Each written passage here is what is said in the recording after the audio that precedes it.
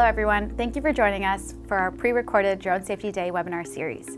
Drone Safety Day is aimed at promoting safe drone practices and exploring the cool and innovative ways drones are being used across Canada.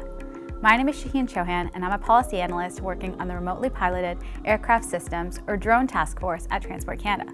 Transport Canada is the department of the federal government responsible for regulating and developing transportation policies and programs, including those relating to drones. I'm joined by Mark Winenberg, Vice President of Regulatory Affairs at Drone Delivery Canada, a drone manufacturer specialized in logistics and delivery. Hi Mark, thanks for joining us. Thanks for having me. So I guess we'll start off with learning a little bit more about uh, Drone Delivery Canada or DDC's drone operations. So how do you use drones in your operations? So from uh, a, DDC we use uh, drones to provide uh, logistical solutions uh, to areas that are either uh, underserved or haven't been thought of yet with regards to uh, delivery of goods and services. Now, this can either be something for societal benefits, uh, delivering medicines, supplies, things like that, uh, serving um, uh, underserved communities, or it could be something on the, uh, on the business side or commercial side of being able to deliver a product faster to, to a customer. Sounds like you guys have a bunch of different use cases and applications. We do. how, how long have you been using drones in these different capacities for? Uh, Drone Delivery Canada has been using drones since 2014 uh, in, in various capacities. Uh, but since then, we've hit some key milestones in, in, in our company activities. Uh, that includes uh, the development of our patented uh, flight management system, which is the system, it's an end-to-end -end system for software and hardware that basically tracks aircraft maintenance, package deliveries, flight planning, uh, weather, everything that's needed from the start to the finish of a, of a drone flight. It took a few years, but that, that system has been developed. Uh, we've also uh, worked on the development of three different uh, remotely piloted aircraft systems uh, used depending on the use case uh, of, the, of the mission we're looking at. And finally, probably the last couple of years, we participated in the Transport Canada Beyond Visual Line of Sight trial program. Uh, as well as now working towards commercialization, which, uh, which we started uh, earlier in 2019. So you mentioned that you developed three different types of drones. So what do you use these drones in your operations or do you also use additional drones? Uh, these are the, the main three that we use. So, uh, so we have three, three that are either uh, working right now or in the development to be used in the future. First one is the uh, Sparrow. It's about a 25 kilogram drone, carries about five kilograms worth of cargo and can go for about 30 kilometers. Next is our Robin XL, which is both a multi-rotor and a fixed-wing drone. It carries about 11 kilograms and can go about 60 kilometers. And our third one, and probably the most exciting one, is our Condor, which is a converted manned helicopter. It's going to have the capability to carry about 180 kilograms uh, to a distance of about 200 kilometers, which is really going to be a game changer uh, for the northern and the isolated communities. You've mentioned all the different ways drones can be used, so what advantage does using a drone have over other technologies?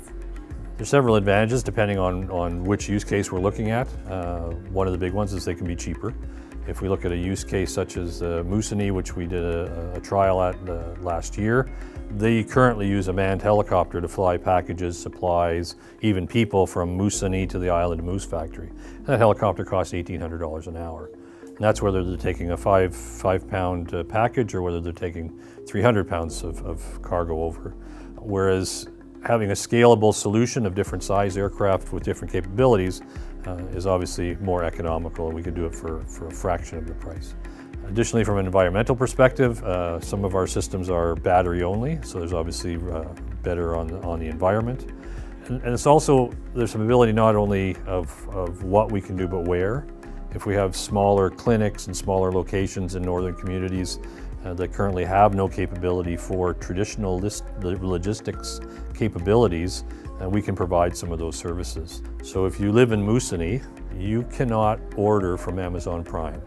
There's simply no way of getting the package there. And that's something we all take for granted today, that I just go online, I order my Amazon Prime, and it shows up in two days.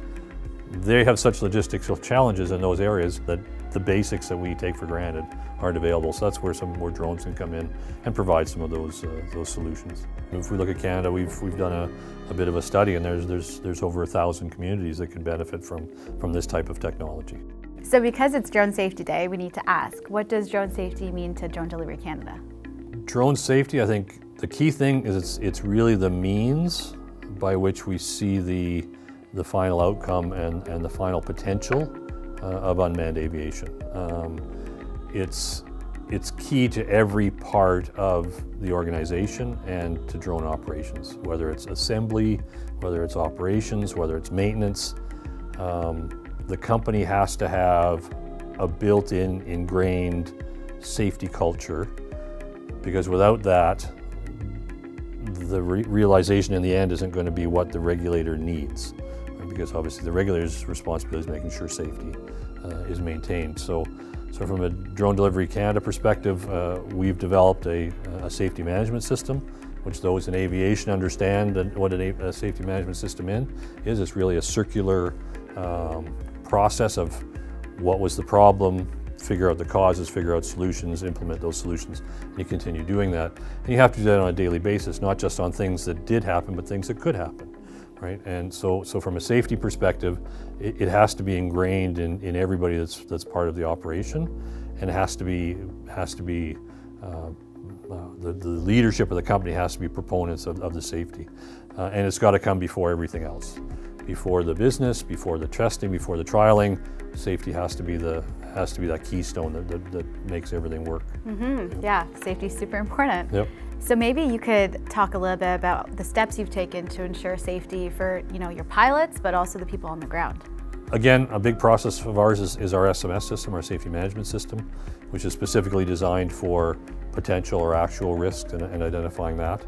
Um, but we have we have processes in place with regards to say from a pilot perspective, there's, a, there's an entire training program, which we call DDC University, where they come in and they go through literally three days of, of ground school and training. This is beyond the pilot certificate that's required by transport uh, on the company's flight operations manual, our standard operating procedures, our checklist and going through all those, uh, all those activities. So training's a big part of it.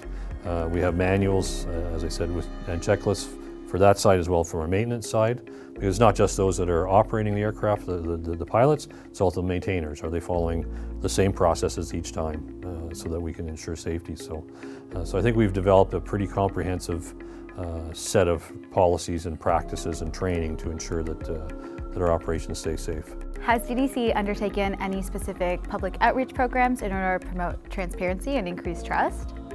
Uh, we do, as I sort of mentioned uh, a little bit earlier, uh, one of our main uh, focuses when we go into a, a, new location is that outreach, uh, whether it's uh, going out to, as I mentioned, the airport operators or the, or the local air operators, airlines, helicopters, etc. It's also the communities. When, we, when we've gone up to, I'll use an example, when we went up to Moosonee, we did a, an exposition at the school. We got the students interested. Part of our business model is once we establish the depots, Drone A or Drone Spot A and Drone Spot B, those two depots, we'd actually have local people that are actually trained by DDC being the the handlers, people that would load the cargo, etc. Uh, do some of the basic groundwork, putting the, the, the batteries in, the cargo, things like that. So I think it's, yeah, from our point of view, it's important to get the community involved, get that trust going, know that their needs and their concerns are taken into account. Obviously, we've heard, or you may have heard, that privacy tends to be a big, uh, a big concern. Uh, from, from, ours, it's less of an issue because we really don't have any cameras on board, so we're not taking pictures of anybody, it's just carrying cargo. But you have to build that, that level of trust in the community uh, so that the people understand, okay, this is bringing the medicine to the hospital, or this is providing this public good. Um, and are we accepting of the noise and the flight routes for that public good. Mm -hmm. uh, there was a, an example of uh, scenario in Moosonee where, and this was before we had the operation there, but where a young child actually lost their life because they couldn't get a specific medicine over to the island because of uh, poor weather, right? Whereas, uh, whereas the community might be more accepting uh, or I would, I would argue would be more accepting knowing that there's other means and methods of getting that there. And that's all part of, you, you do that by getting the outreach, getting into the community and see what their issues and concerns are. So the COVID-19 pandemic has had, you know, its challenges and opportunities. Yep. So what has this meant for DDC? Has this mean different projects that you guys have been working on? Uh, I wouldn't say it's different projects, but it's, it's probably moving some of our intended projects uh, ahead quicker.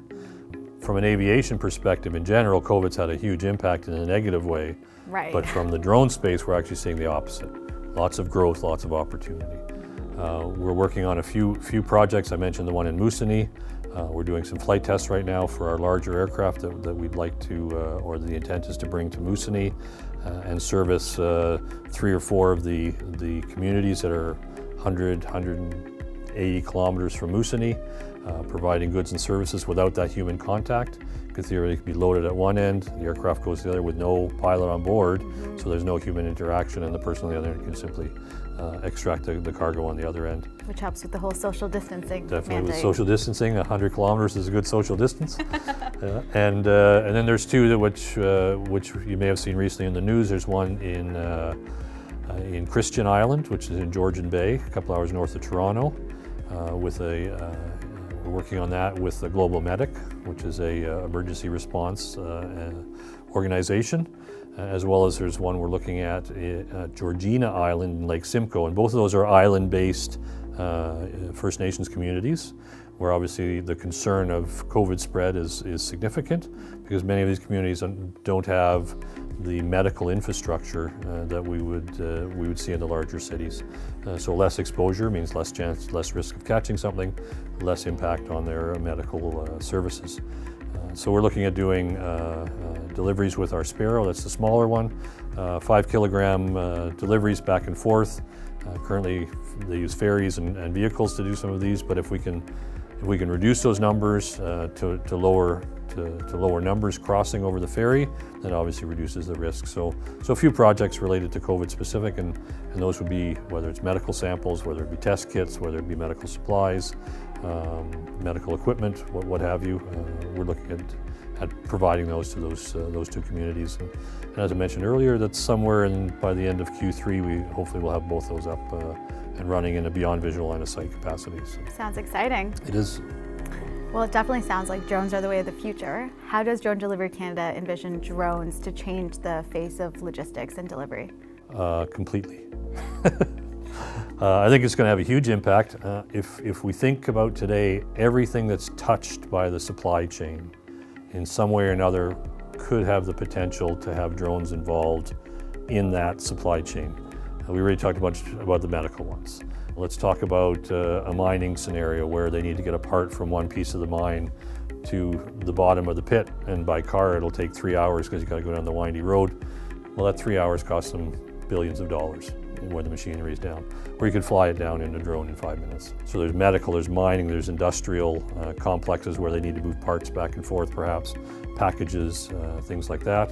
Uh, there's been some discussions about moving cannabis products because that's a secure product or moving bank notes, things that are secure, much less risk to move them by air than it is by moving them uh, via traditional, put them in the back of a van kind of thing. Uh, so there's some security aspects with that as well. And then in the end, there's also going to be the consumer product part, right? How do we deliver consumer products either to, um, to the stores, so say from a, a, warehouse to a store, or eventually, and I say eventually, many years down the road, that model where perhaps you can go from a warehouse to individuals' property and, and deliver uh, goods or, or items that they've ordered. So. Mm -hmm. So speaking on that, in, in, recent decades, we've seen Canada's cities become more and more congested. So do you see drones having a hand in, you know, improving urban mobility?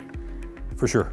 Um, in a couple of ways. I think uh, first, first it, there's the potential there to remove other modes off the roads. Right? If, if we're doing delivery using drones, well, perhaps the perhaps the, the UPS truck or the FedEx truck or the postal truck uh, I don't know how many of those are in Ottawa, but you can imagine there's a few thousands of those driving around just in Ottawa alone. Uh, removing some of those off the street obviously makes it makes it easier. Uh, that's a that's a very a simple solution. But if we start thinking out further, the lessons learned that we're using and that we're gaining from using drones and the management of them in this kind of airspace environment, uh, that's going to go into things such as uh, urban air mobility or advanced air mobility concepts. Uh, let's call them flying taxis, but but, but the mobility of people off the traditional uh, buses and roads and, and, uh, and railway systems, things like that.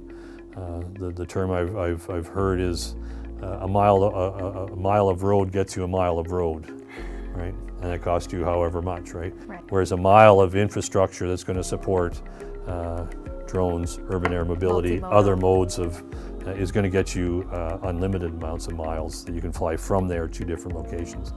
Uh, so I think in the end, it's really going to be a, uh, it's going to have to be a, a, lot of work from all sorts of stakeholders, community developments, the regulators, the operators, uh, the public have to be comfortable.